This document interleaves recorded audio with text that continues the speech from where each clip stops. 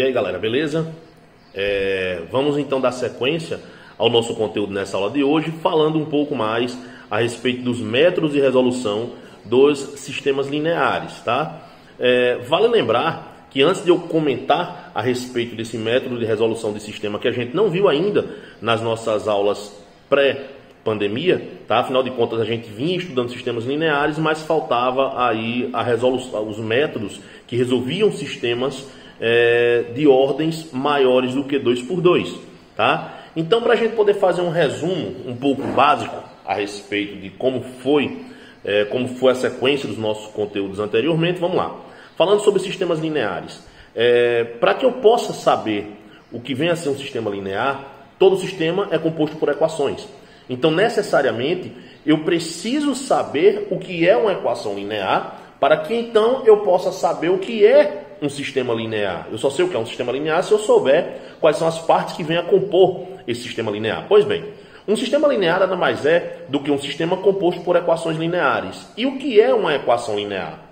Uma equação linear é toda e qualquer equação que é escrita na forma. Aí vocês podem acompanhar isso no livro ou inclusive no apontamento que a gente conseguiu ainda fazer no caderno, tá? Então, se não está com o livro aí, se não está com o caderno, dá uma carreirinha, pega, dá uma pausa aí no vídeo, tá? para que possa acompanhar esse conceito aí.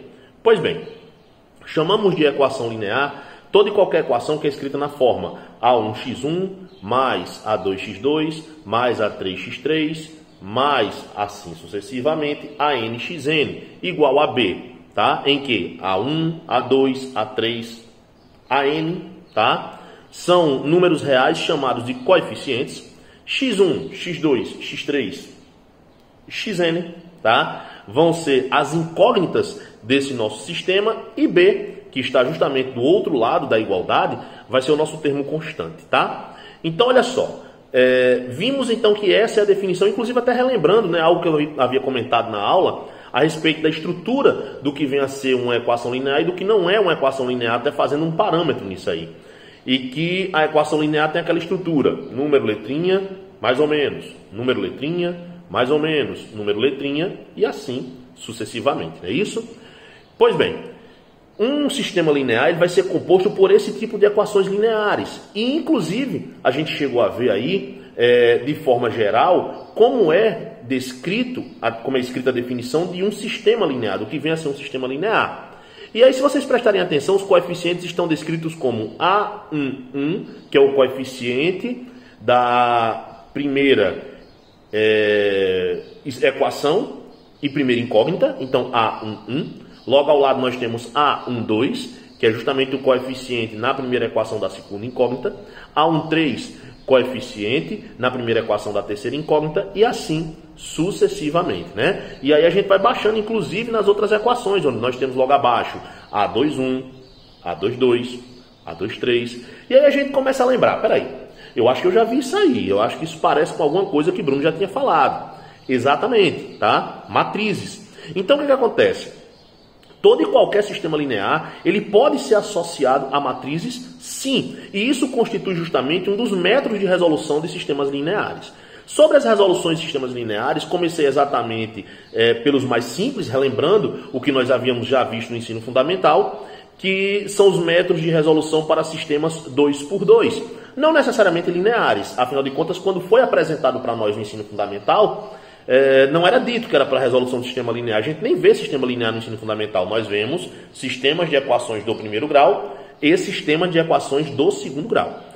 E quando a gente vê aqueles sistemas, são nos apresentados aí três métodos, que é o método da adição, o método da comparação e o método da substituição. Método da adição e método da substituição como sendo os mais usuais e o da comparação bem menos usual, tá? Porém, já foi visto, inclusive em sala de aula. Só estou só fazendo um apanhado, né, para que a gente possa relembrar é, do que já foi visto e poder começar a aplicar agora nessa próxima regra que a gente vai ver. Por quê? Porque me foi perguntado se todos os sistemas, durante a aula né, presencial, se todos os sistemas seriam 2 por 2 É óbvio que não, né? Nós vamos partir para sistemas que tem um número de equações maior e que venha a ter um número também de incógnitas maior do que 2, tá? Então a gente sai do sistema 2 por 2 e entra num outro tipo de sistema. Ainda assim, tá? é, um sistema em que o número de equações seja igual ao número de incógnitas, tá? Para que a gente possa falar a respeito desse método de resolução de sistemas lineares. Quando a gente tem uma desigualdade entre número de equações e número de incógnitas, existe um outro método que vai ficar para uma outra aula, que é o escalonamento de um sistema linear, tá? Mas por hora, o que, é que a gente vai falar hoje? A gente vai falar sobre a regra de Kramer, tá? Então, onde é que a regra de Kramer é amplamente é, é, é, aplicada? Principalmente quando a gente trabalha com sistemas é, é, possíveis determinados, a gente viu a classificação dos sistemas lineares, né? Então, o sistema possível determinado é justamente aquele em que a gente sabe né, é, que vai ter uma única solução. E como é que a gente pode ter uma certeza, é, analisando um enunciado de um sistema linear, de que ele é um sistema possível e determinado? Tá? Um sistema é possível e determinado, fica fácil da gente poder é, verificar isso numa questão, principalmente em questões de Enem. Tá? por conta da contextualização envolvendo a questão e a montagem desse sistema. Então, quando a gente trabalha com um sistema linear em que a gente precisa montá-lo através do enunciado contextualizado, muito provavelmente nós temos aí um sistema possível determinado. Então, nós temos duas formas de se resolver esse sistema, e aí o aluno vai decidir qual forma é que vai deixá-lo mais confortável. Se vai ser o que a gente vai apresentar agora, que é a regra de Kramer, tá? Ou o escalonamento. O caminho quem escolhe é vocês, mas ambos caminhos serão apresentados. E nessa aula de hoje nós vamos apresentar a regra de Kramer para vocês, tá? A regra de Kramer se baseia no seguinte: se baseia na construção de determinantes, tá? De matrizes para cálculo, para cálculos de determinantes, onde os elementos dessas matrizes são justamente os coeficientes associados certo? As variáveis no sistema. Então, os coeficientes das variáveis em todo o sistema constituem uma matriz ao qual nós podemos calcular esse determinante, tá? É, o que é que nós podemos então entender como método de resolução? Vamos utilizar então determinantes, beleza? Pois bem, agora a gente vai ver aqui como é que se resolve um sistema, tá? É, linear 3 por 3, observem aí, tá? Que nós temos aqui três equações e temos três incógnitas. As equações, elas são associadas, tá? Deixa eu mais perto. As equações, elas são associadas justamente às linhas de uma matriz. E as colunas, tá? São associadas justamente a quem? As incógnitas. Para que a gente possa resolver o determinante utilizando a regra de Kramer, o que é que a gente faz, tá? Passo a passo. Primeira coisa que você vai fazer. Você vai montar um determinante, tá? Utilizando como elementos da matriz para cálculo determinante os coeficientes, tá? Das incógnitas no nosso sistema. Esse determinante associado aos coeficientes das incógnitas do sistema, nós chamamos de Deixa eu dar uma escadinha aqui melhor, tá? Nós chamamos de D. D. E aí vamos montar o determinante, onde os elementos desse determinante são justamente os coeficientes ah, das incógnitas no nosso sistema. Então vamos lá. Quando não tem ninguém aqui na frente do x, nós dizemos, na verdade, que o valor aqui do coeficiente é quanto? 1. Portanto, esse é o elemento que está na primeira linha, primeira coluna. Logo aqui ao lado nós temos quem? 2. Tá? Então 2 tá aqui. Aqui o coeficiente do z, menos 1. Se liga no sinal, tá? Menos 1. Aqui embaixo, 2. Tá aí. Menos 1. E 1. Logo aqui, 1. 1, que é o coeficiente do y coeficiente do z, 1 também, tá? Então, nesse caso aqui, nós temos o cálculo determinante de uma matriz quadrada de ordem 3. Vamos relembrar, utilizamos então a regra de Sarri, tá? Onde nós repetimos as duas primeiras colunas à direita da nossa matriz. Vamos lá então. Repetindo aqui as duas primeiras colunas, 1, 2 e 1. Aqui ao lado, 2, menos 1 e 1. Ao sair calculando os determinantes, ao, perdão, ao sair calculando os produtos, tá? No sentido da diagonal principal, vamos lembrar, O sinal que der permanece. Tá? Vamos lá então aqui ver.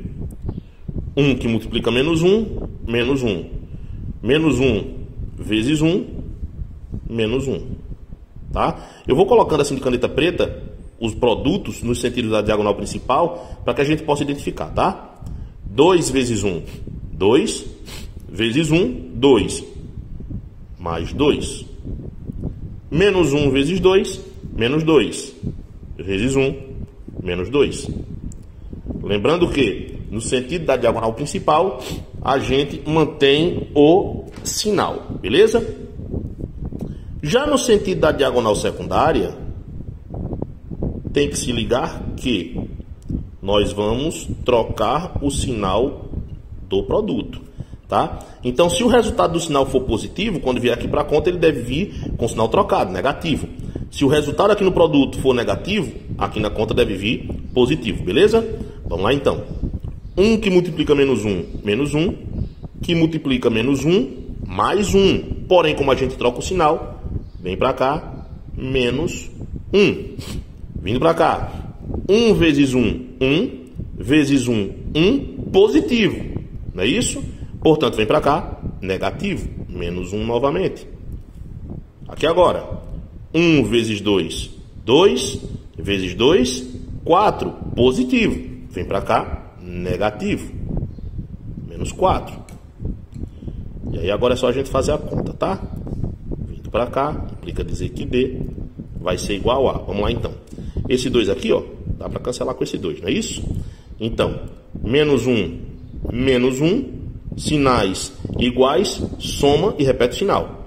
Então, menos 1, menos 1, menos 2, menos 2, menos 1, menos 3, menos 3, menos 4, então nós temos aqui menos 7. Esse aqui é o valor do D, beleza? Guarda aí esse valor do D. Porque agora é que vem a situação diferente. Que situação diferente é essa, então? Nós vamos calcular agora o valor de dx, dy e dz. O que é dx, dy e dz?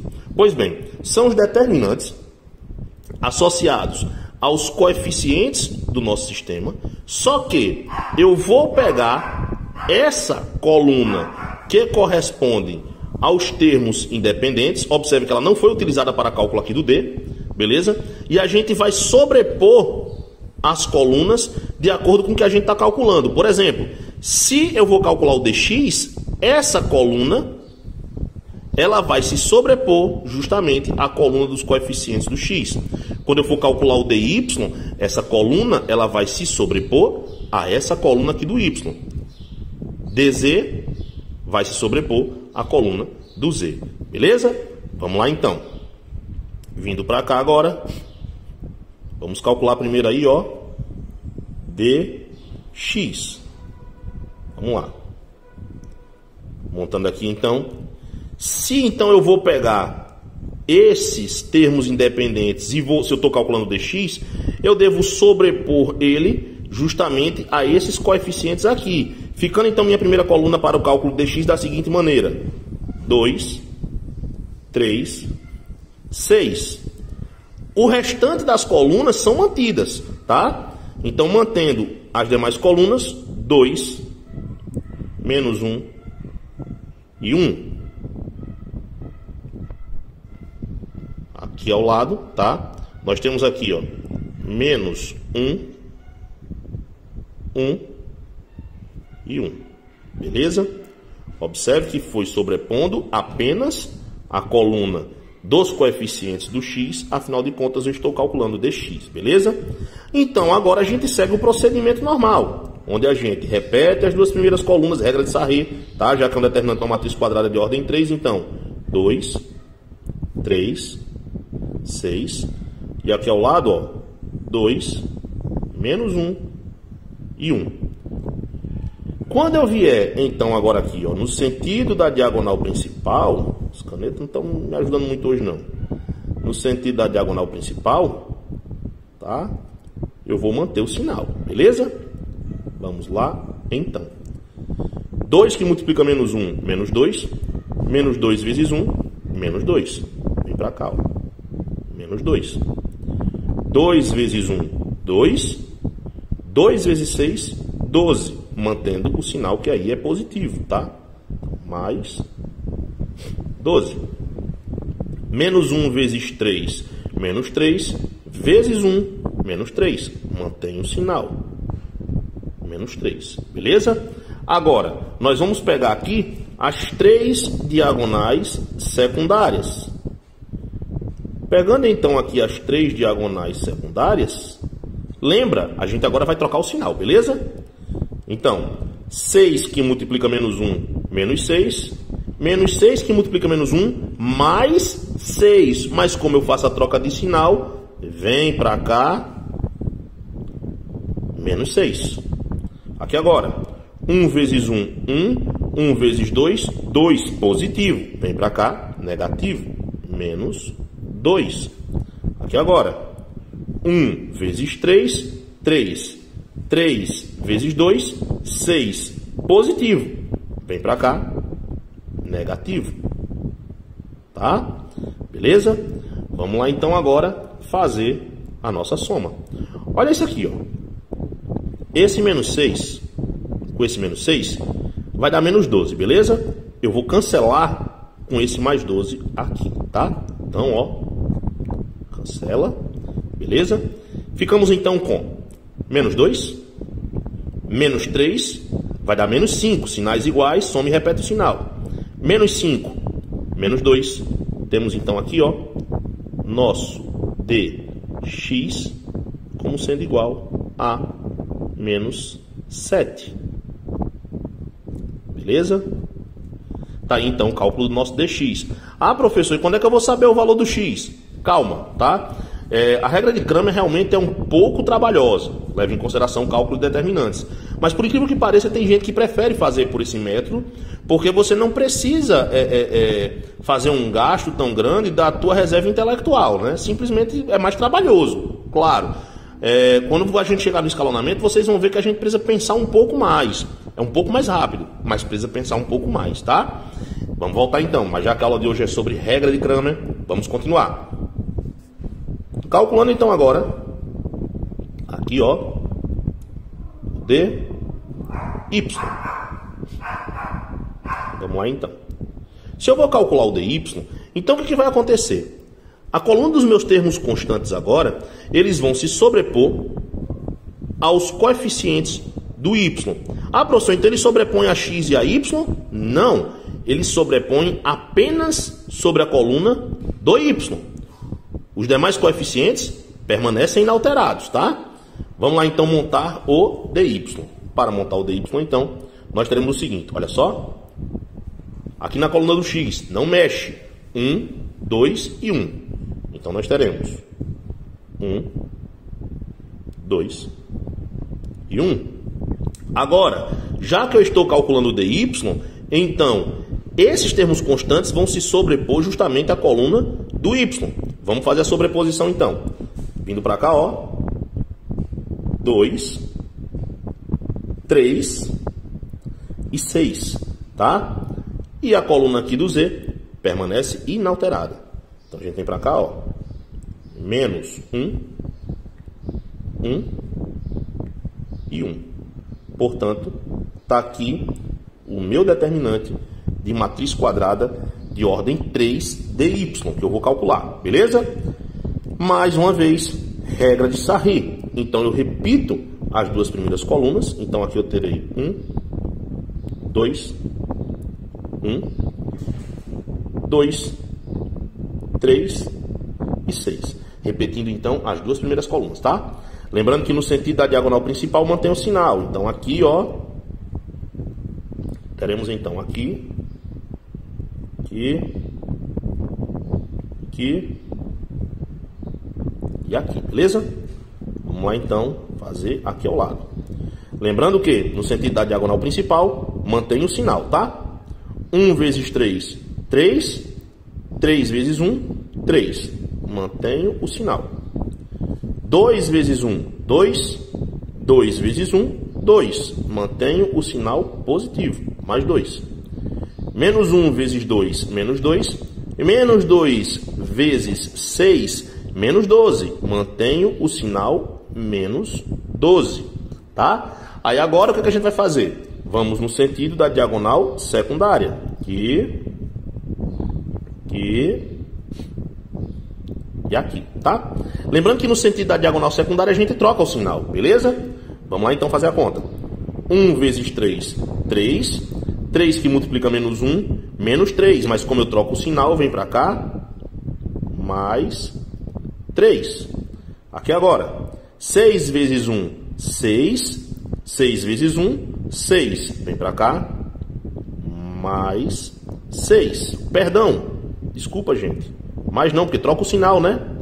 Menos 6, tá? 1 vezes 2, 2. 2 vezes 2, 4 positivo, mas como troca o sinal, vem para cá, negativo, tá? Beleza? Vamos agora, então, fazer a adição, tá? Somando. Uh, 3 mais 2, 5. 5 menos 12, tá? Sinais diferentes. Subtrai e dá o sinal do maior, vai dar menos 7, beleza? Menos 7 mais 3, menos 4, menos 4, menos 6, menos 10, menos 10, menos 4, menos, olha só, nosso dy é igual a menos 14. Está aqui o valor do nosso dy, tá? Terminado então o dy, tá faltando agora o dz. Cansativo, mas é isso mesmo, vamos lá, tá? Essa é a regra de Kramer, beleza? Então vamos agora calcular o nosso dz. Vamos lá, então. Armando então aqui a conta, beleza? Teremos aqui então o dz. Olha só. Fazendo a montagem então do determinante. Lembrando que, como agora vai ser o dz, essa coluna associada aos termos independentes, ela vai se sobrepor aos coeficientes do z, beleza? Vamos lá então. Temos então aqui 1, 2 e 1.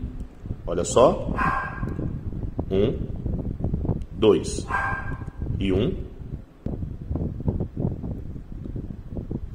Aqui agora, nós teremos aqui na coluna do y, tá? 2, só, menos 1 e 1, tá? Olha só, 2, menos 1 e 1. E agora sobre a coluna do z, nós vamos sobrepor 2, 3 e 6. Vamos para cá. 2, 3 e 6. Montado então o nosso determinante. Beleza? Vamos então aplicar a regra de Sarré. Repetimos então as duas primeiras colunas, onde nós ficaremos com 1, 2 e 1, 2, menos 1 e 1. Beleza?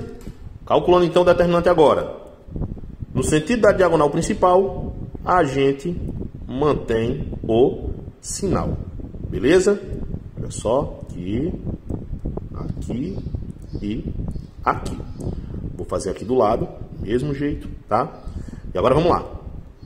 1 que multiplica menos 1, menos 1.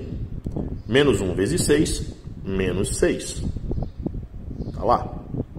2 vezes 3, 6. 6 vezes 1, 6. Sinal positivo.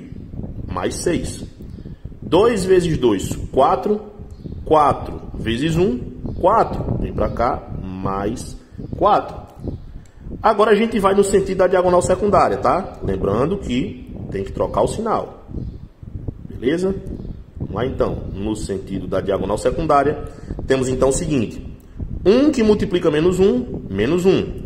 Menos 1 vezes 2, menos 2. Porém, como troca de sinal, vem para cá mais 2. Vindo para cá. 1 vezes 3, 3. 3 vezes 1, 3. Vem para cá, menos 3 tá? E aqui, ó, 6 vezes 2, 12. 12 vezes 2, 24. Sinal positivo, mas virar para cá, negativo. Beleza? E aí agora, vamos finalizar o DZ. Aqui eu já posso cancelar, ó, esse 6 negativo com esse 6 positivo. Deixa eu ver se eu posso fazer mais algum cancelamento. Hum, eu acho que não. Vamos lá então. Aqui agora. 4 mais 2, 6. 6 menos 3. 3. 3 menos 24. Sinais diferentes, subtrai e dá o sinal do maior. Então vai ficar DZ como sendo igual a menos, pois o 24 é maior. E 24 menos 3 vai ser igual a 21. Beleza? Ok. Pronto. A parte mais difícil já passou.